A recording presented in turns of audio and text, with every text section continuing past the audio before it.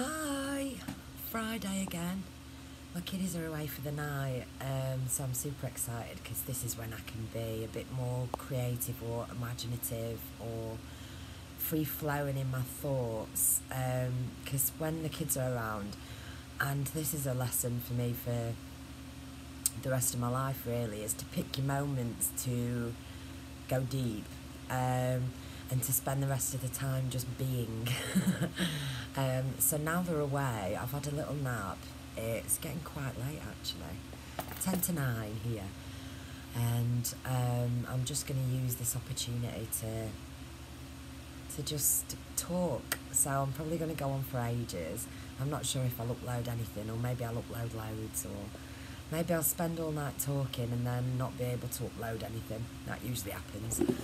Um, so, yeah. So, things that are on my mind are. It's always consciousness, isn't it? Consciousness. What's going on? Consciousness is reality. Um, I just find it all so interesting. I think because I've been around people and I've worked with people with such varying um, labels of mental health. Um, diagnoses or um, illnesses, as people say, um, that I feel like I've felt or seen or understood certain differences from different perspectives, which have allowed me to carry on my my own work, my internal work, but also they're helping me in some way to prepare me for the rest of my life's work. So, um, yeah, so I've been thinking a lot recently about um, people I used to work with, um, with autism or Asperger's or learning disabilities, neurological diseases, um, drug addicts, alcoholics, families of as well. Um, myself being one um, daughter of um, drinkers and a drinker myself for a long time and uh, I'm still addicted to lots of things uh, nothing more serious than tobacco and coffee at the minute. Thank God because alcohol was a big lesson um, for me. Um, because I feel like I'm just more and more understanding how um, there's things put in our ways to take us off track, like drugs, alcohol, sex, media, materialism, everything. Um, but alcohol, I just can't bear how it's glorified and legal and just just the whole the whole thing that comes with drinking and it does bring you into the underworld. It does. Um, drinking is a poison. Spirits, dark spirits. I don't know. It's just you feel it. I used to be part of it, going out on a Friday, Saturday night, drinking, and, and darkness enters you. Um, I was never a super bad drunk. I always seemed to have quite good control over myself, but I think that was because of the damage I saw through extremes of drinking. So I had sort of a reference point of um, what's bad um, because I was around it and so what not to do. Um, but having said that, it was my go-to thing was alcohol and um, a couple of drinks and you'd get to that place where um, a few of the niggles, the anxieties and the programming which affect you all the time are taken away and it's like a sweet spot I think there's potentially uh, benefits in alcohol. Maybe I don't know what they originally used it for, um, but it's uh, it's very dangerous, and I, I, really pray for the day when um, it's illegal and uh, potentially other substances are controlled but legal or at least decriminalised because uh, they have the exact opposite effect of alcohol, in my opinion. Um, alcohol um, takes you down um, into the shadows, into the dark, where um, things are awful, murky, scary, and um, and some other natural substances do the opposite, and they take you upwards, and they take you from here through there, up there, and um, and what that does is. Uh, essentially, in my opinion, thus far, I've got another, hopefully, another lifetime to lead before any conclusions are drawn. But um, I feel that they completely rewire your brain and they allow you to access your trapped emotions and your trauma um, without the fear, which then allows you to relive or revisit the moment of trauma and to assess it from a perspective um, of the person you are now, which is just so beneficial. It's so beneficial. Um, so, I mean, obviously, there's. I don't want to um, promote drug use in the slightest um, without um, without hard knowledge from others and potentially uh, much more of a movement than is at the moment because um, I also understand the um,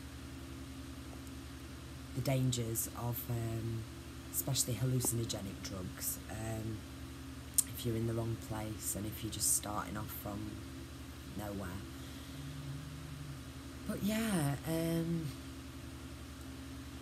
alcohol is just horrendous. It's fucking horrendous. It really is. And I look at my mum and dad now, and they're not like they used to be. They've uh, done some growing. It's just, uh, it's tough, isn't it? Addictions, they are tough. Um, and I want to help them. I just want to help them. I want to help everyone around me. And I think that's been at the detriment of myself quite often during my life. And so I'm really just taking the time now to be grateful for what I've got, the family that I've got, the people around me, the support that I've got, um, the love that I've got. Um, and I've always felt bitter or um, sad about the fact that the love that I felt I received was not what it was not the love that I needed. Um, but again, this just ties into life lessons and and things that I am gonna use to better myself um, and my kids as well. So, yeah, it's all about love, love and fear. They're the only two emotions, and I, I really do feel that that is one of the only things that I know that everything is based in either a positive or a negative, a, a, a fear or a love. And that is so deep in itself, isn't it? Because that's everything. Everything that we see, hear, feel, consume has got to be interpreted by our vessels, our experience, our programming, and our brains to um, to bring out the emotion in the most positive way to to bat off anything that is not serving you um, in terms of negativity or fear and to just take away the good from it. And it's easier said than done. We know that. It's just we live and learn every day. I'm listening to so many interesting exciting people online. Um, it makes me really happy for the future. Um, the fact that all there's always going to be lots of um, conjuncture, conspiracies, uh, division, craziness online because uh, it's the playground of the unseen, essentially, isn't it? There's lots of keyboard warriors and trolls that never show the face or never say anything that's not prepared or and I, I picture them sat at home and uh, I don't feel hatred for them. I feel sad for them that they can't sort of uh, have any feelings and thoughts of their own to interpret and create with. Um, and so that's what I'm uh, trying to do is to create and uh, inspire myself as well to keep doing. So I can talk so much. It's ten minutes now. I've just done another video before that was thirty minutes long, and um, I wasn't making sense. So I just thought I'll just keep talking until it sort of slows down. I'm so my energy has always been so um, fast and um, just like the Tasmanian devil. I'm only just recently understanding how to hone energies um, into a more positive way. Um, so it's difficult doing videos, and I was thinking to myself that a couple of things like um, I was thinking about doing another channel where I didn't show my face and I didn't spoke about I didn't just ramble and just sort of like free flow about anything um, but I wrote things down and I used some beautiful visuals and audio to bring the message out um, hopefully to others because that's what I feel like I need to do. It's like sometimes you feel like everybody around you is asleep and all you want to do is wake them up and show them how good things can be and don't worry don't worry this is but um, in these times right now there's not many people that are brave enough to start waking up. And so I feel like for me I'd really love to be able to get through to some people that aren't necessarily awake and talking about consciousness or um, hyperdimensionality or anything that interests me, um, the nature of reality, shape of the earth, the way we can control um, good and bad and outcomes and all, all this sort of thing. Um, so I'm wondering whether to do that. Um, the thing that was like putting me off doing that is that I felt it was more sort of plugging into the AI or the material in a way. Um, but then there's part of me that thinks that that is what needs to be done to get through to the masses. The masses, the sleepers, the sheepers. Um, yeah, and so I'm wondering about that. What does anyone else think? Is that is that a good idea? Because I used to write. I'm much better at writing than I am at speaking. I think. Um, and so if I can write my thoughts down, because as soon as I start talking, I get I go off on a million tangents. It's some sort of flow of whatever that I'm sure people don't listen to. In fact, I know people don't listen to because I had a look on the analytics on YouTube, which I've tried not to do, and um, like the average time that people have listened to me is about five minutes, and most of my videos are about half an hour long. So I'm doing something wrong. Um, but you know, I'm not because this is my journal, so that's what I mean. Do I need another way to get a message out?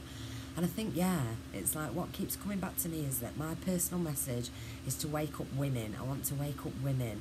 I want to wake up mothers, and I want to, um, throughout my life, um, really try and drive home the importance of energy um, transference from um, mother to child and from father to child, and for it to be explored in a really um, in depth way.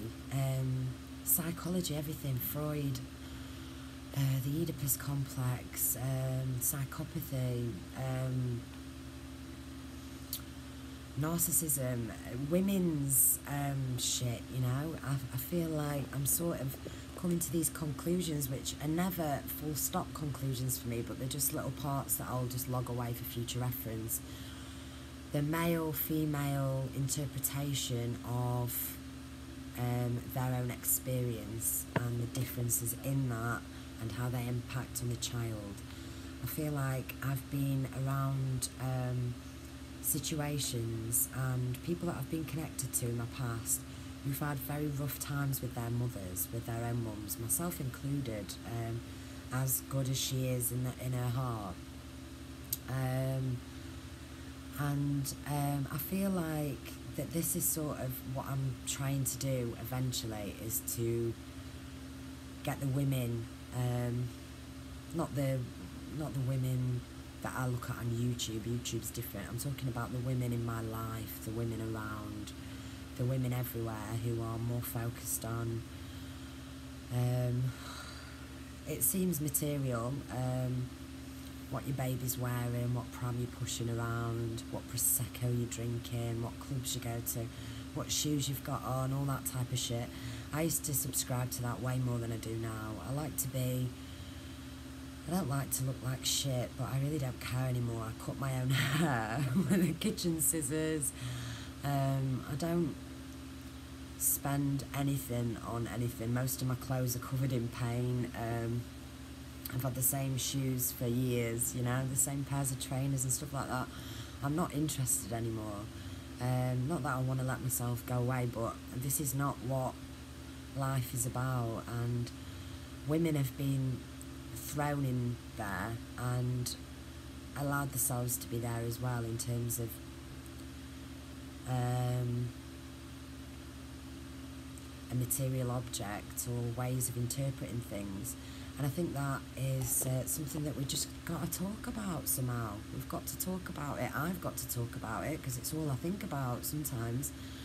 I think about some of the mums that I know or um, family members or people that are that I've come into contact with and I see the way they interact with the kids and I can't get my head around how things are normalised these days, how it's normal for you to um, not seem to give a shit about your kid because you're so traumatised yourself.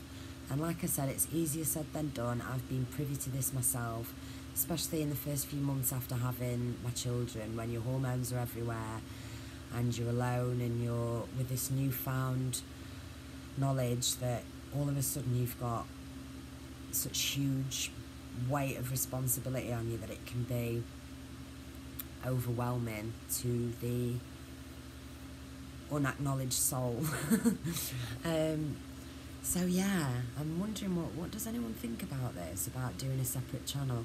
Because um, as well, I had a little, I did have a little wobble earlier on in the week because I'm quite um, my name's rare, and um, I don't know whether it's just because my computer, but when I Google my my real name, my bloody YouTube channel comes up with all this stuff on which I wanted to be separate because I've stopped using Facebook and social media and stuff like that, and um, and it's been great. Um, I've um, I've recently gone on Facebook to join a rhesus negative group um, because I wanted to. Um, so I'm going to dip back in and out and see what's the crack on there because um, I need to and I need to not block off my um, connection to rhesus negative as hard as that is sometimes with the fear mongering that's going on it's a, it's an integral part of my life and it's coming up to the surface in good and bad ways and we've all got to figure this out what does it mean um, what I don't like is that some people think they know they think they know and that bothers me um, They think they know, yeah. Lots of people think they know. And then I think, well, does that mean that I think I know because I'm putting things on YouTube? Or does that mean that I think I know when I do a separate channel with some sort of rounded off nice messages? But I was thinking, what's that? I was thinking more in terms of like, you know, Jason Silva's Shots of Awe, where you can have a, a short piece that can penetrate a mind that is not opened fully. Anyway, I'm just talking out loud, I'm just wondering. But there's lots of different things. I've been looking at things that would usually scare me this week as well. And they haven't scared me, they've just opened my eyes even more. Um, which makes me feel good because I feel like that's progress for me. So I've done a little bit of looking about um, targeted individuals and gang, gang stalking, um, surveillance, electronic or potential electronic mind control or torture or things like that. And um, why I'm talking about it now is not to fearmonger, it's to acknowledge to myself that there is truth in many things that we are not sure of yet. And the only time you are sure of it is when it happens to you or you have the knowing, your internal, your truth, which is always going to be different from someone else's truth. Maybe one day it won't, maybe it will all just whoosh, we'll get back to some sort of simple life. Um, but that all depends on technology and truth. And so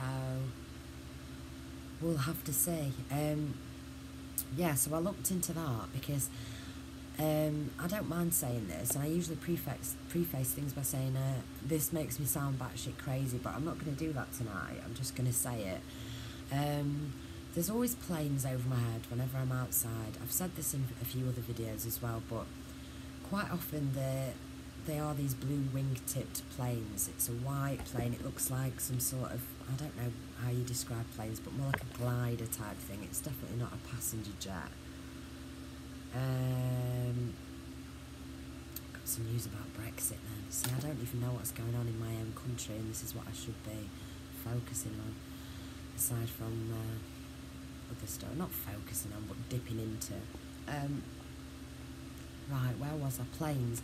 Yeah, um, and it's just a bit weird. It's like everywhere I go, these these planes are there, and lots of other people talk about them as well. So there will be something in it. There will be. Um, what that is, I don't know. Whether I'm creating things, whether things are of a holographic nature, or whether people are actually um, in these planes, um, these physical planes, and if they are connected to me, or if they're not connected to me, if they're connected to the area, or whatever. I'm just documenting it.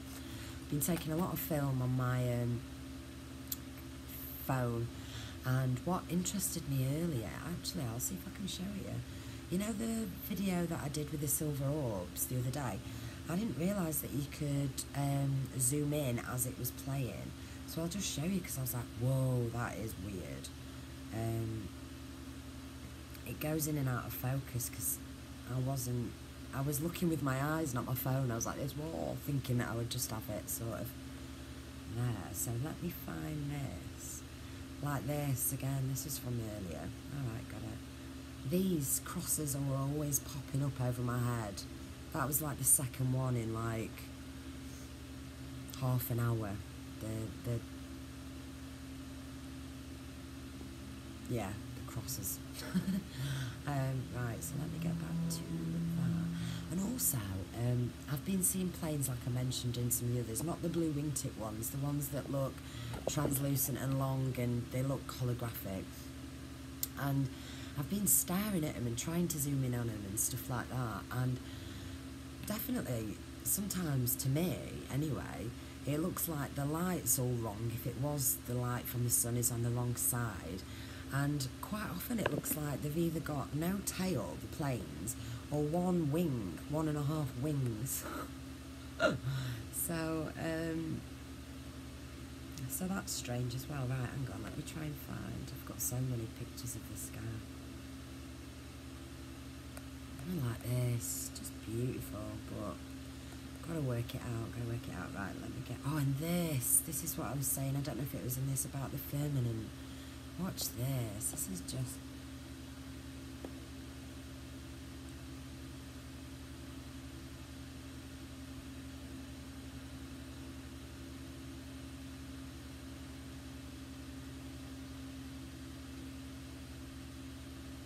It's just amazing. I'm, I'm going to try and put some of these on later because somebody, um, my skies 5D, um, he sent, he told me how to put some music on and stuff. I want to put music onto these beautiful sky videos because it feels better, and I love music as well. Um, so yeah, but the clouds and everything, it's it's all sort of um, top of a globe, a dome sort of look to me. But anyway what was I talking about?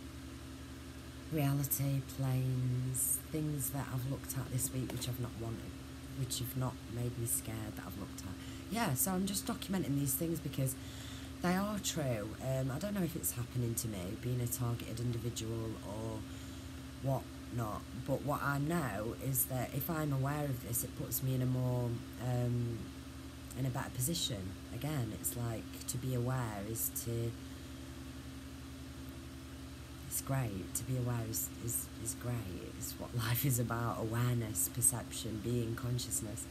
So um, i'm choosing to um, listen to everything because everybody is so um, amazing that i'm finding online and i just think it's all wonderful. Um, I'm going to keep talking. I'm going to stop it now because no one wants to listen for more than five minutes, and I've done 25 minutes. But I'm going to carry on, I think. Carry on chatting. Hopefully, I'll be able to whoosh, zoom it down.